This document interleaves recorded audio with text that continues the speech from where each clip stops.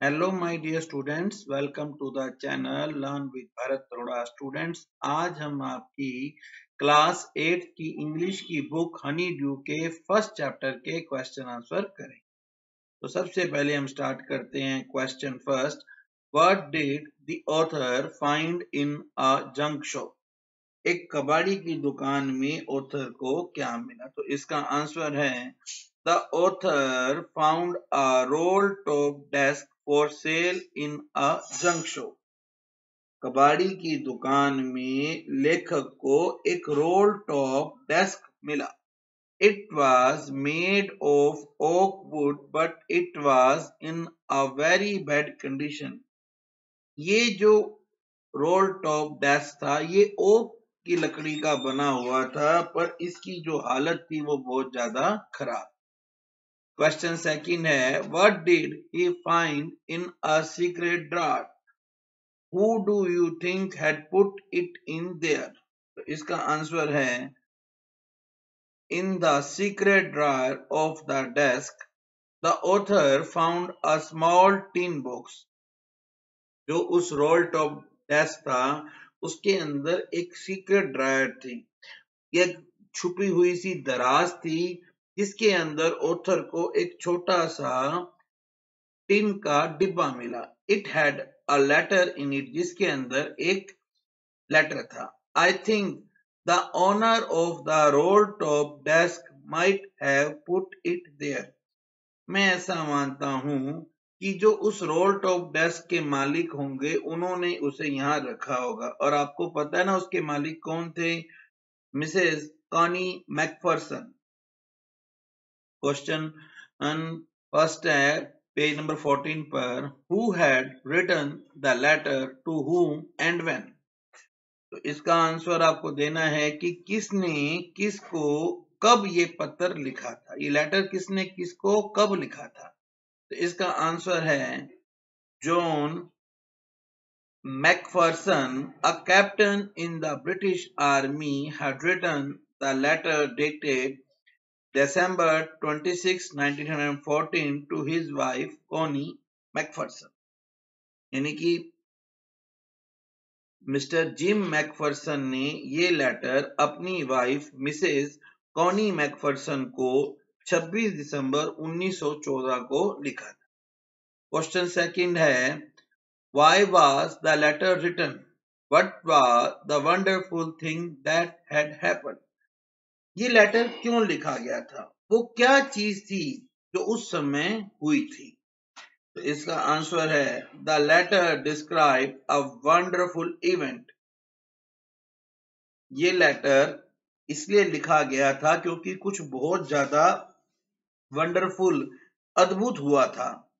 The two armies the British and the German fighting against each other celebrated Christmas together जो दो सेनाएँ थी, जो आपस में लड़ रही थी, अंग्रेज़ों की और जर्मन की सेना, उन्होंने मिलकर एक साथ क्रिसमस को मनाया था।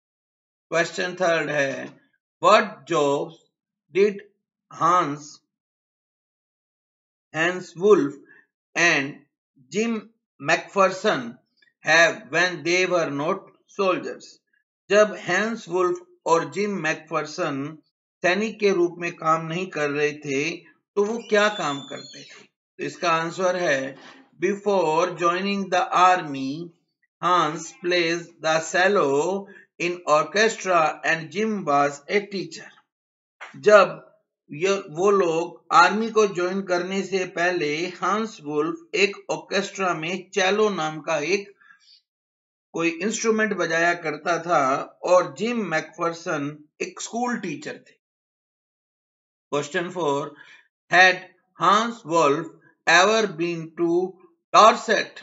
Why did he say he knew it?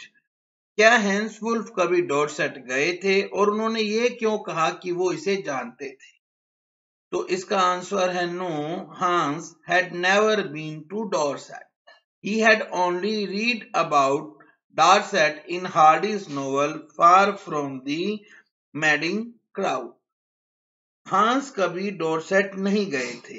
उन्होंने ऐसा इसलिए कहा क्योंकि उन्होंने इसको, डोरसेट को, थॉमस हार्डी के प्रसिद्ध novel far from the madding crowd में उन्होंने इसके बारे में पढ़ रखा था। Question five, do you think Jim McPherson came back from the war? How do you know this? क्या आप ऐसा मानते हैं कि जिम मैकफर्सन लड़ाई से वापस ज़िंदा आ गए थे। और आप ये कैसे जानते हैं? तो इसका आंसर है, no, Jim McPherson never came back home from the war. Jim McPherson कभी लड़ाई से वापस अपने घर आए नहीं। पर वाइफ कॉनी हैड शायद इसीलिए कोनी ने उनके लेटर संभाल रखे थे। Comprehension check, page number 15 question 1 why did the author go to Bridport जो राइटर है, वो ब्रिडपोर्ट क्यों गया था? इसका आंसर है the author went to Bridport to meet Mrs Jim McPherson and deliver to her Jim's letter author Bridport Mrs Jim McPherson की खोज में गया था और उन्हें, उनसे मिलने गया था और उन्हें जिम का लेटर देने गया था। Question second how old was Mrs McPherson now where was she वो अब कहाँ थी? उनकी कितनी एज थी? तो इसका आंसर है Mrs McPherson was 101 years old now अब उनकी उम्र 101 साल थी। She was in Burlington House nursing home अब वो बर्लिंगटन हाउस नर्सिंग होम में थी। कॉम्प्रीहेंशन चेक पे number sixteen question one who did Connie McPherson think her visitor was Connie McPherson ने जो उनसे मिलने आए थे, उनको क्या समझा? Connie thought that the visitor was her own husband Jim McPherson तो कॉनी मैकफर्सन ने ये सोचा कि जो उनसे मिलने आए हैं, वो उनके खुद के पति मिस्टर जिम मैकफर्सन हैं। Question second which sentence in the text shows that the visitor did not try to hide his identity? आपको इस पाठ में से उस लाइन को दिखाना है जो ये बताती है कि जो विजिटर था, उसने अपनी पहचान छुपाने की कोई कोशिश नहीं की। तो एक सेंटेंस है बच्चों that sentence is you told me you had come home by Christmas dearest she said and here you are the best Christmas present in the world come close Jim dear sit down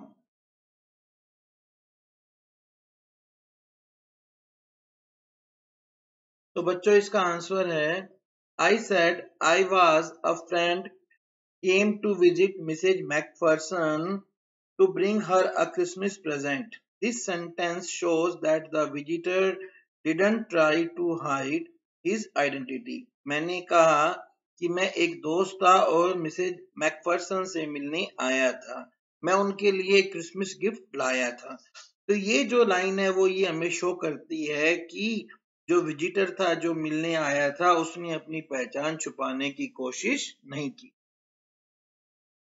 अब बच्चों, हमारे text books question start होते हैं। Very first question for you is question first for how long do you think Connie had kept Jim's letter give reasons for your answer तो आपको ये बताना है कि कितने समय तक कॉनी ने जिम का लेटर अपने पास रखा। आपको इस आंसर के रीजन भी बताने हैं। तो इसका आंसर है I think Connie kept Jim's letter for almost 70 to 75 years मैं ये मानता हूँ कि जिम ने कॉनी ने जिम का लेटर लगभग 70 से 75 साल तक अपने पास रखा था। द फॉलोइंग रीजंस सबस्टेनिएटेड अब देखो, मैं आपको इसके कुछ उदाहरण कुछ रीजन भी बताता हूँ। पहला रीजन है, the junk seller had told that the desk was of early 19th century जो कबाड़ बेचने वाला था, उसने ये बताया था कि डेस्क लगभग 19वीं सेंचुरी के शुरुआती वर्षों का है। The letter was dated 26 December 1914 इस लेटर पर क्या डेट थी बच्चों? इस लेटर पर तारीख थी 26 दिसंबर 1914 ओके और थर्ड है now Mrs McPherson was 101 year old तो अब मिसेज जैकवर्सन जो थी, उनकी एज 101 साल थी। Question second why do you think the desk had been sold and when आपके विचार से ये डेस्क कब बेचा गया और क्यों बेचा गया? I think the desk had been sold because it had badly got scratch mark all over, all down one side. तो मेरा ये मानना है कि डेस्क इसलिए बेचा गया क्योंकि वो एक तरफ़ से बुरी तरह झुलस गया था।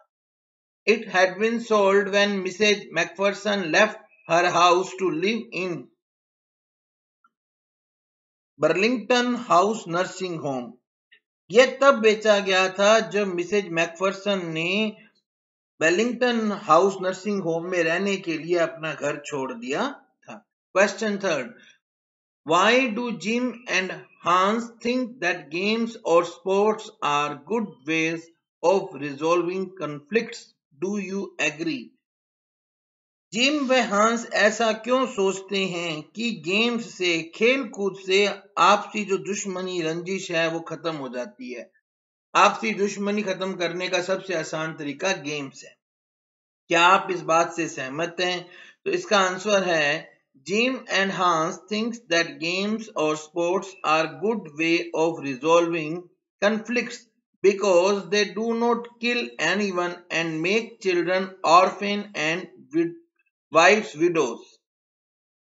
Jim बेहांस ये सोचते हैं कि खेल कूद से जो आपसी दुश्मनी है को खत्म करने का सबसे बढ़िया तरीका है खेल कूद, क्योंकि इससे ना तो किसी की, का मर्डर होता है, ना तो कोई किसी को मारता है, और ना ही बच्चे अनाथ होते हैं, और ना ही औरतें विधवा होती हैं। Yes I agree to this concept हाँ मैं इस बात से सहमत हूँ।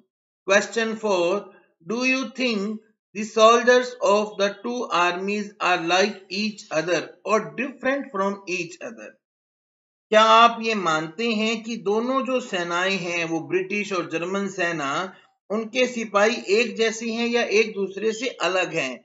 Find evidence from the story to spot your answer अपने उत्तर के समर्थन में आपको इस कहानी से कुछ प्रूफ भी देने हैं। I think the soldiers of the two armies are like each other मैं ये मानता हूँ कि दोनों सेनाओं के सैनिक एक जैसे हैं। They are not different from each other वो एक दूसरे से अलग नहीं है। On Christmas they wish each other Christmas पर वो एक दूसरे को बधाई देते हैं। उन्होंने दूसरे को बधाई दी। Happy Christmas Tommy same to you they shared schnapps rum and sausages उन्होंने एक दूसरे को बधाई दी कि हैप्पी क्रिसमस टॉमी और आपको भी फ्रिट्स और उन्होंने स्नैप स्नैप एक तरह की शराब होती है। रम रम भी एक तरह की शराब होती है। और सॉसेस होता है, मसालेदार गोश्त, ये सब उन्होंने मिलजुल कर खाया। They played football on no man's land और उन्होंने नो मेंस लैंड पर फुटबॉल भी खेला।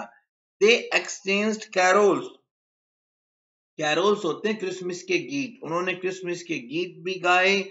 Even Jim said both armies long for peace यहाँ तक कि जिम ने यह भी कहा कि दोनों जो सेनाएँ हैं, वो शांति की कामना करती हैं। At the end of the war they would like to go home back and see the family लड़ाई के खत्म होने पर वे घर जाना चाहेंगे और अपने परिवार से मिलना चाहेंगे।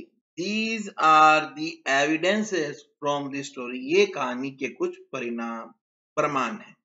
मैंने प्रूफ दिए हैं कहानी में से। Question five mention the various ways in which the British and the German soldiers become friends and find things in common at Christmas. आपको वो अलग अलग तरीके बताने हैं जिनसे ब्रिटिश और जर्मन सैनिक दोस्त बन गए और उन चीज़ों को भी बताना है जो क्रिसमस पर एक समान the wishing of happy Christmas happy Christmas की बधाई द शेयरिंग ऑफ़ स्नैप्स जो उन्होंने स्नैप शराब को शेयर किया रम एंड सोसेज जो उन्होंने रम को, यानी रम भी एक तरह की शराब है, और सोसेज उन्होंने गोश्त शेयर किया the playing of football match on the no man's land उन्होंने जो नो मैंस लैंड पर फुटबॉल मैच खेला and the exchanging of carols are the various way that make the British and the German soldiers friends. जो उन्होंने football match खेला, जो उन्होंने carols को एक्सचेंज किया, ये कुछ तरीके हैं जिनसे ब्रिटिश और जर्मन जो सोल्जर्स हैं, वो दोस्त बन जाते हैं। Mingling of breaths longing for peace and home at extra are the things in common at Christmas जो आपस में वो खेलते हैं तो उनकी जो सांस मिलती है, जो उनके मन में शांति की इच्छा है, जो घर जाने की इच्छा है ये चीज़ें क्रिसमस पर कॉमन है। ये चीज़ें दोनों साइड है। Question six what is Connie's Christmas present Connie का क्रिसमस का उपहार क्या है? Why is it the best Christmas present in the world ये विश्व का बेस्ट क्रिसमस प्रेजेंट क्यों है? इसका आंसर है Connie's husband Jim is her Christmas present Connie का जो हस्बैंड जिम है, वो उसके लिए क्रिसमस का त्योहार है। It is the best Christmas present in the world because for a wife without husband the world is insipid क्योंकि बिना हस्बैंड के एक वाइफ के लिए ये दुनिया जो है, वो इंस्पीड है। इंस्पीड मतलब फीकी है। Do you think the title of the story is suitable for it can you think of any other title और टाइटल्स क्या आप ये मानते हैं कि इस कहानी का जो शीर्षक है, the best Christmas present in the world, वो इस कहानी के लिए बिल्कुल सुटेबल है, बिल्कुल उपयुक्त है? क्या आप इस कहानी के लिए कोई और टाइटल सोच सकते हैं?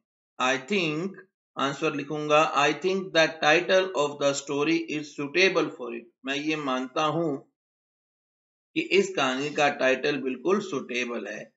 The story opens, develops and concludes at around this title. Story इसी टाइटल के चारों तरफ़ शुरू होती है और वहीं डेवलप होती है और वहीं एंड होती है। Husband a human is the best Christmas for Connie as a human Connie के लिए उसका हस्बैंड बेस्ट गिफ्ट है। There can be no other title suitable for this story.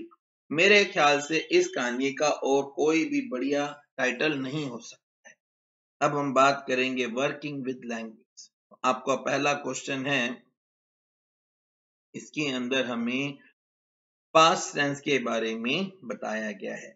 जो पास्ट टेंस की वर्ब्स हैं, वो हमें पास्ट टेंस के बारे में बताते जैसे कि आप यहाँ देखिए स्पॉटेड है सेड है इट वाज मेड है वाज है, ये सब जो है पास्ट टेंस की वर्ब्स हैं, वो हमें ये बता तो हमें एक पैसेज दिया गया है। हमें इस पैसेज के अंदर पास्ट टेंस को सर्च करना है। तो बच्चों, मैंने ये आपके लिए पास्ट टेंस की वर्ब्स को सर्च कर रखा है।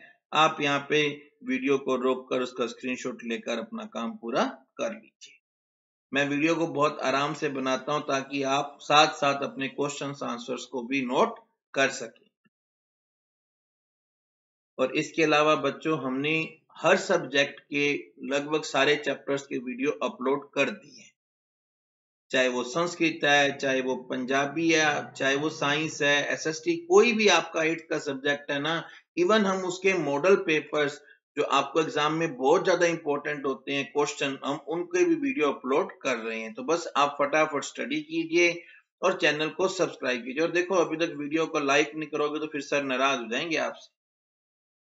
इसके बाद में एक और हमें फिलिंग द ब्लैंक्स करना है, जिसमें हमें वर्ब्स की करेक्ट फॉर्म को लिखना है। तो बच्चों, ये भी देखिए, मैंने यहाँ पर आपको वर्ब की करेक्ट फॉर्म मैंने इसमें पास टेंस आएगा, मैंने वो सारे के सारे यहाँ पर लिख दिए हैं।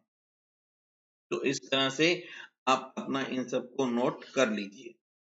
अब आपको यहाँ पर वर्ब्स को अंडरलाइन करना है और उन्हें अरेंज करना है कि कौन सी पास्ट है और कौन सी पास्ट अर्लियर है। तो देखो बच्चों, मैं यहाँ पर आपको बताता हूँ, जैसे ये फ़र्स्ट सेंटेंस है माई फ्रेंड सेट आउट अब सेट आउट जो है ना, ये तो है आपका past to see the caves in the next one but I stayed at home because I had seen और ये जो हैड सीन है, ये है पास्ट अर्लियर इसी तरह से से जो यहाँ पे ये स्टेड है, ये भी आपकी पास्ट टेंस है। ठीक है? यहाँ पे अब आएगा वेन दे अराइव्ड अराइव्ड आया तो ये हो गया बच्चों आपका पास्ट टेंस और अराइव्ड के साथ में आ जाएगा आपको हेड गोन ये आपका आ जाएगा और ये हेड लेफ़्ट आ जाएगा आपका पास्ट अर्लियर तो इस तरीके से आपको ये सारे के सारे वर्ब्स के आंसर जो हैं, वो मैंने यहाँ पर लिख दिए हैं। तो they sat outside and ate ये जो मैं जिनको मैं हाईलाइट कर रहा हूँ, ये आंसर देखो बच्चों यहाँ भी हैं। आप जहाँ से भी सेट बैठे, वहाँ से आप नोट डाउन कर लीजिए। By the time I return ये है आपका past tense and had fallen ये है आपका पास अर्लियर। अब सेकंड क्वेश्चन हमारे को डिक्शनरी वर्क करना है। तो इसमें हमें क्या है? हमें फ्रेजल वर्ब को ढूंढना है। ठीक है? आपने पहले फ्रेजल वर्ब को सर्च करना है और फिर डिक्शनरी में से उसका जो मीनिंग है आपको वो लिखना है। तो बच्चों, मैंने आपके लिए यहाँ पर इन लाइंस में फ्रेजल वर्ब को सर्च भी कर दिया है और मैंने आपके लिए उसका जो मीनिंग है ना, वो मीनिंग भी मैंने लिख दिया है। तो बस आप फटाफट मीनिंग नोट कर लीजिए और समझ लीजिए। House number twelve turn out to be nothing but a burn out shell अब यहाँ पे बर्न आउट जो है, इसका मतलब होता है डेस्ट्रॉयड बाय फायर आग से बिल्कुल जलकर खत्म हो जाए। That was the moment her eyes lit up with recognition and her face अब यहाँ पर जो ये लिट अप है, इसका मतलब होता है ब्राइटन मतलब चमकना ग्लो करना। नेक्स्ट है Hans Wolf and I looked on and cheer clapping our hand अब लुक्ड ऑन का मतलब होता है बच्चों देखना। Consider somebody to be somebody यहाँ पे मतलब है कि बच्चे, जो, ये जो हैंस वुल्फ है और मैंने जो है, हमने क्या किया? हमने देखा। हमने किसी चीज़ को वॉच किया। The time came and all too soon when the game was finish the when the game was finished, the schnapps and the rum and sausage had long since run out. Run out अब ये जो run out का मतलब होता है बच्चों finish हो जाना, समाप्त हो जाना, सारी जो, जब गेम खत्म हुआ तो हमारे पास जितनी भी स्नैप थी रम थी सोसेस थी, वो सारी की सारी क्या थी बच्चों, वो खत्म हो गई थी। And we knew and we knew it was all over और हम समझ गए थे ये जो है सब खत्म हो गया है Hence Wolf and I looked on and cheered, clapping our hands and stamping our feet to keep out the cold as much as anything. Keep out का मतलब होता है बच्चों avoid करना यानी कि दूर रखना जब हम लोग अपने हाथों से क्लैप कर रहे थे और तब हम अपने पैरों को भी ज़ोर ज़ोर से बजा रहे थे ताकि ठंड दूर हो सके। इसके बाद में बच्चों है नाउन फ्रेज अब यहाँ पर बच्चों क्या है? यहाँ पर ये बताया गया है कि ये जो इटैलिक है ना, ये जो स्मॉल ब्लैक टिन बॉक्स है, ये इटैलिक में था और इसका मतलब क्या है? ये क्या है? एक नाउन फ्रेज है। ये क्या है बच्चों? एक नाउन फ्रेज है।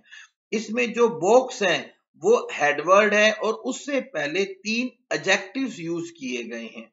तो आपको ये देखना है कि इन एडजेक्टिव्स को कैसे यूज़ किया गया है। सबसे पहले आपका आता है साइज़ क्या आता है बच्चों? साइज़ देखो, पहले क्या है? साइज़ स्मॉल फिर आता है बच्चों कलर साइज़ के बाद क्या आता है? कलर कलर आया है बच्चों ब्लैक और फिर इसके बाद में आया है मटेरियल मटेरियल क्या है? टिन तो देखिए, सबसे पहले हमारा साइज़ आता है, फिर कलर आता है और फिर मटेरियल आता है। वैसे तो बच्चों, देखो, हम एक नाउन से पहले चार एडजेक्टिव का यूज़ बहुत कम करते हैं और इसका कोई डेफिनेट तरीका भी नहीं है कि हम कैसे यूज़ करें। फिर भी अगर आपको एक नाउन से पहले चार आपको चार एडजेक्टिव या मोडिफायर्स का यूज़ करना हो तो उसका तरीका बच्चों ये होगा। देखो बच्चों, यहाँ सबसे पहले आएगा डिटर्मिनर जैसे यहाँ पर डिटर्मिनर क्या है बच्चों? ए एन और दी फिर हम यूज़ करेंगे मोडिफायर वन मोडिफायर वन जो है वो फीलिंग को बताएगा। फिर हम यूज़ करेंगे मोडिफायर टू जो कि साइज़ शेप या एज को बताएगा। फिर हम यूज़ करेंगे मोडिफायर थ्री जो कलर को बताएगा। फिर हम यूज़ करेंगे मोडिफायर फोर जो मटेरियल को बताएगा, और इसके बाद लास्ट में हम यूज़ करेंगे हेडवर्ड जैसे मोडिफायर वन जो ओपिनियन फीलिंग्स को, जैसे कि नाइस लेजी ब्यूटीफुल ऐसा बताएगा.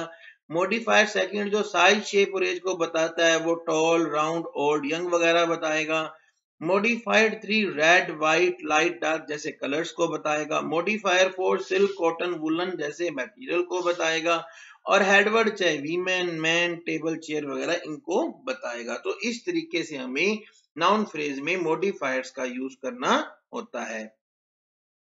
इसके बाद में एक हमें ये एक एक हमें टेबल दी गई है। जिस टेबल में एक तरफ़ हमारे पास नाउन है, ये देखिए, ये आपके पास में नाउन है। एलिफेंट फेस बिल्डिंग वाटर और इसके सामने हमें कुछ एडजेक्टिव्स दिए गए हैं। जैसे circular striped enormous multi coloured round chair wide blue red chubby large medium size fold और आपको क्या करना है? आपको इनको आपको इनको सही करके लिखना है। तो मैंने बच्चों सही करके लिखा है। देखिए एलिफेंट जो है, उसके आगे नाउन आएँगी। एनोमरस स्ट्रिप्ड वाइट फेस आएगा चेयरफुल राउंड चबी बिल्डिंग आएगी सर्कुलर लार्ज मल्टी कलर और वाटर आएगा ब्लू और कोल्ड तो इस तरह से बच्चों, इस वीडियो में हमने आपका जितना भी वर्क था, चाहे वो आपका वर्किंग विद लैंग्वेज हो, चाहे वो टेक्स्ट बुक्स क्वेश्चन हो, चाहे वो आपके जितने भी कॉम्प्रीहेंशन चेक के हमने सारे के सारे कंप्लीट कर दिए हैं। तो बच्चों, आपने ये वीडियो देखा, इसके लिए आपका बहुत बहुत धन्यवाद। और फटाफट वीडियो को लाइक कर कर अपने फ्रेंड्स को शेयर भी कर दीजिए ताकि वो भी अच्छे मार्क्स ले सके। Thank you.